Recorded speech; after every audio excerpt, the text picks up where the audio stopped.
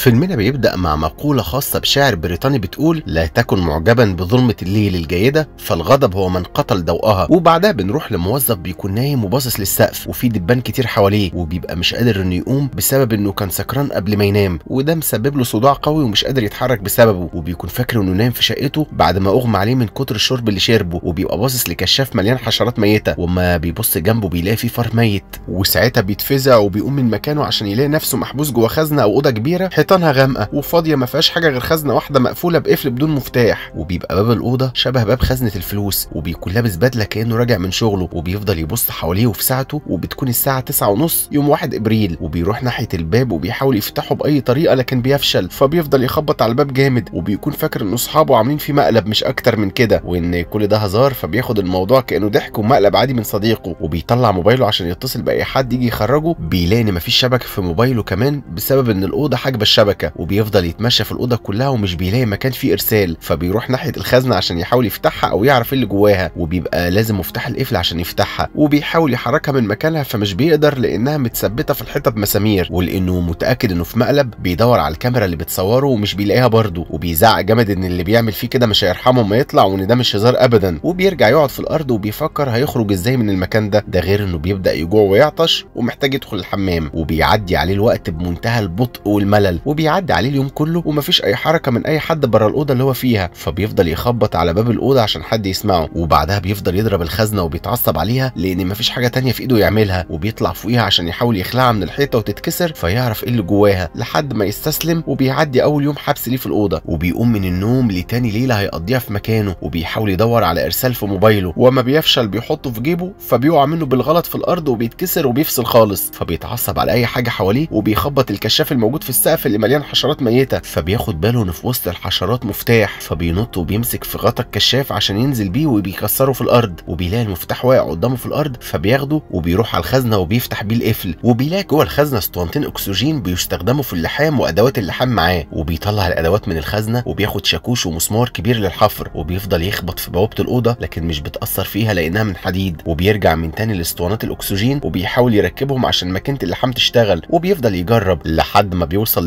لطريقة تشغيلهم وبيطلع نار من خرطوم اللحام وبيوجهه ناحية رشاشات المية الموجودة في السقف اللي المفروض تشتغل في الحريق ومش بيلاقي مية نازلة برضه وبيحاول إنه يسيح حديد البوابة بماكينة اللحام اللي معاه لكنها مش بتتأثر فبيفضل يخبط في الخزنة لحد ما بيخلعها من الحيطة نفسها وبيكون مش عارف يتصرف إزاي. وبيحاول يسيطر على أعصابه عشان ما يتجننش. وبيفكر بعقلانية إنه لازم يخرج من المكان ده قبل ما يموت وإنه مش بيحلم وإلا كان زمانه أمن الحلم بعد كل اللي عمله ولازم يدور على طريقة للهروب. وساعتها بيبص ناحية الحيطة بيلاقي إن الخزنة كانت متثبتة في الحيطة بمسامير ومكانها مجوف وبياخد الشاكوش والمسمار معاه وبيفضل يكسر في الحيطة عشان يعمل فتحة يهرب منها وبيكون عارف إنها تاخد منه وقت طويل وهو مش معاه غير الوقت وبيتمنى لو كان سمك الحيطة قليل وفي حاجة ليها لازمة الناحية التانية ومن كتر المجهود اللي بيعمله بيبقى محتاج أكسجين عشان يتنفس كويس فبيروح ناحية اسطوانة الأكسجين نفسه وبياخد نفس كبير من الخرطوم وبينام بعدها على طول وبيقوم مفزوع من النوم عشان يقفل اسطوانة الأكسجين قبل ما تخلص لأنه أكيد هيحتاج اللحام بعدين في أي حاجة. وبيكون لازم ياكل أي حاجة قدامه وما بيلاقيش غير دبان ودود وفار ميت فبيختار إنه ياكل الدود على الأقل حاجة فيها بروتين وبيستحمل طعمه بالعافية وبيروح ناحية فتحة الحيطة عشان يكمل تكسير فيها. وبيفضل يكسر لحد ما بيوصل لحديد قدامه فبيفهم إنه خلص نص الطريق فبيستخدم ماكينة اللحام وبيقطع الحديد اللي قدامه وبيرميه وراه عشان يكمل تكسير ويوصل للناحية التانية من الأوضة لحد ما بيلاقي فراغ الناحية التانية وبيكون نجح في الوصول. وبيوسع الفتحة عشان يعدي منها وبيدخل منها بالعافية وبيلاقي نفسه في أوضة تانية شبه الأوضة اللي هو فيها بالظبط وبيتصدم من اللي هو فيه وبيلاقي بابها مش بيتفتح برضه. وأما بيبص وراه بيلاقي فيه تابوت مقفول قدامه. فبيتمنى إن التابوت ده يكون فاضي أو مليان متفجرات عشان يقدر إنه يفجر باب الأوضة ويهرب منها ويحرر نفسه. وبيروح يفتح التابوت فبيلاقي فيه بنت نايمة وبيفتكرها جثة ميتة. لكن البنت بتقوم مصرخة من النوم وبتهرب من قدامه وبتفضل تتكلم بلغة أفريقية غريبة مش مفهومة. وبعدها بتهرب من خلال الفتحة اللي هو فتحها للأوضة بتاعته وبيروح وراها عشان يفهم منها أي حاجة عن اللي بيحصل. لكن بيتأكد إنها كمان مش عارفة اللي بيحصل ومش بتتكلم انجليزي وأما بيحاول يعدلها للأوضة اللي هي فيها بتفضل تصرخ لأنها خايفة منه وبيكون عايز يقتلها أو يعتدي عليها فبيسيبها وبيفضل قاعد على الأرض وبيكلم نفسه وبيضحك لأنه قال لها إن كل حاجة هتبقى بخير وهو نفسه مش عارف هما فين ولا هيعيشوا قد إيه. فبيوهم نفسه إنه بيتخانق معاها كأنها مراته وبيقول لها إن حياتهم هتبقى جميلة وهيتجوزوا ويخلفوا وساعتها الأولاد هيناموا في التابوت وبيضحك كأنه اتجنن وبيروح ناحية التابوت عشان ينام فيه وبتفضل البنت تستكشف أوضة الراجل وبتلاقي ماكينة اللحام اللي هي مش عارفة بتستخدم لإيه وبتروح تنام هي كمان وبتيجي الليلة الثالثه وبعد ما البنت بتهدى وبتفهم إنها محبوسة هي وهو في مكان واحد بتروح ناحيته وبتحاول تصحيه من النوم وبتشاور له بالشاكوش على الحيطة وبيفهم إنها بتقول له يكمل حفر في الحيطة لأن دي طريقة خروجهم من الأوضة فبيقول لها تختار حيطة عشان يبدأ الحفر فيها يمكن يوصلوا لحاجة وبتختار الحيطة لناحية التابوت وبيحاول يخليها تساعده في الحفر لكنها بتخاف إنه يخبط إيدها بالشاكوش اللي معاه وبتقول له إنه يحفر بنفسه بس فبيفهمها إن إيده مجروحة من كتر الضرب بالشاكوش ولازم تساعده وبيخليها تمسك له المسمار اللي بيضرب عليه بالشاكوش وبيجي يضربها بيلاقيها شالت ايدها لأنها خايفة منه فبتحاول إنها تمسك الشاكوش بنفسها لكن لما بيشوف ضربها بالشاكوش ضعيف قد إيه بيقرر إن هو اللي يكمل بنفسه لأنه لو اعتمد عليها مش هيخلص وبيقولها بهزار تروح تحضر له الأكل وما يجي يستنده له وبيكمل حفر هو في الحيطة وبيبان عليه إن طاقته شبه انتهت ومش قادر إنه يضرب بقوة بسبب قلة الأكل والشرب وبيفكر مين اللي عمل فيه كده وحبسه بالطريقة دي وبيقول البنت إن دي أكيد من أعمال الفضائيين وإنهم اتخطفوا للكوكب التاني وموجودين في اختبار وممكن يبقى اختبار قوة أو تحمل أو غيره وبيرتاح شوية وبتكمل البنت حفر في الحيطة وبيفضل قاعد يفكر مع نفسه هو إزاي جه هنا ولا كان فين قبل ما يغمى عليه ويصحى في المكان ده. وبيتأكد إن خلاص ما بقاش في مقلب لأن لو في مقلب أكيد مش هيقعد كل الوقت ده. وإن الفضائيين هم اللي خطفوه زي ما خمن وبتبقى البنت بتحاول إنها تحفر في الحيطة لكن بدون فايدة لأن إيدها ضعيفة جدا وهي بتحفر في خرسانة. فلازم تخبط جامد ودي حاجة مستحيلة تعملها لأنها ضعيفة جدا. وما بتزهق وبتفقد الأمل إنها تكمل حفر بترمي المسمار والشاكوش للراجل وبتسيبه وبتروح للأوضة التانية اللي فيها الفار وبيكون لازم ياكلوا فيها. فبياكل الراجل الدود اللي قدامه وبيعرض على البنت إنها تاكل معاه لأنها من غير أكل هتموت. وبتقعد على الأرض جنبه وهو بيكسر في الحيطة وبتتكلم مع نفسها إنها المفروض دلوقتي كانت هتبقى في فرح ومش فاكرة هي جت هنا إزاي وإيه سبب وجودها في المكان الغريب ده وبتفضل تعيط. فبيحاول إنه يهون عليها وبيغني عشان تضحك وهو بيكسر الحيطة. وبيغنوا هما الاتنين سوا عشان الوقت يعدي لحد ما إيده بتتجرح وبيتقلب منها جامد. فبتقطع البنت اللبس بتاعها وبتلف حوالين إيده عشان ما يتلوثش أكتر. وبيلاقوا إن في صوت جاي من باب الأوضة فبيجروا عليها على أمل إن في حد يفتح لهم لكن الصوت بيختفي من تاني وبتفضل البنت قاعدة بتعيط لأنها بتفقد الأمل في الخروج من الأوضة. وما بيرجعوا من تاني عشان يكسروا الحيطة بيلاقوا الصوت رجع فبياخد الراجل باله إن الباب بيتفتح أوتوماتيك لو هم مش باصين عليه. فبيقفوا وعينهم على الحيطة وبيرجعوا هما الاتنين بظهرهم ناحية البوابة وهي بتتحرك وبتتفتح أخيرا. واما بيعدوا بيلاقوا نفسهم في أوضة ثالثه وفيها قبر في الأرض وبيفهموا إن القبر ده ممكن يكون معمول ليهم عشان يموتوا فيه. ومش بيبقى في إيدهم حاجة غير إنهم يحاولوا يحفروا لكن المرة دي هيحفروا في القبر نفسه لكن طاقة الراجل بتنتهي خالص ومش بيكون قادر إنه يحفر أو يستخدم الشاكوش أكتر من كده. وبيفكر إن اللي رموه في المكان هنا عايزينه يقتل البنت وياكلها وبسبب طريقة كلامه بتخاف البنت منه فعلا. وبيفضل يغلط في اللي كانوا السبب في حبسه في المكان ده وإنه مستحيل يقتلها وياكلها وإنه بيفضل الموت في القبر اللي هو فيه على إنه يعمل حاجة زي كده. وبتحاول البنت إنها تشجعه بأي شكل وبتفشل وبتطلعه بالعافية بره القبر وبيكون مستعد لموته وبينام هما الاثنين وبيصحى الراجل بيلاقي إن البنت بردانة جدا جنبه فبيروح ناحية التابوت اللي هي كانت نايمة فيه وبيخلع الكسوة بتاعته منه وبيرجع للبنت عشان يغطيها. وكل ده بيعمله وهو بيزحف على الأرض لأنه مش قادر يمشي. وبينام تاني جنبها وبيصحوا هما الاثنين كمان شوية على صوت فتح باب تاني في الأوضة. فبيتحركوا ناحيته بظهرهم برضه عشان يتفتح لهم ويعدوا منه. وبتتفتح قدامهم البوابة وبيلاقوا نفسهم في غابة كبيرة وجميلة وعالم غريب. وبيستغربوا هما الاثنين من المنظر لأنهم مش بيكونوا مستنيين الجمال ده كله. وبيخرجوا أخيرا من المكان وبيبقوا خمنوا اللي خطفهم كان بيعمل عليهم تجارب تحمل. وهل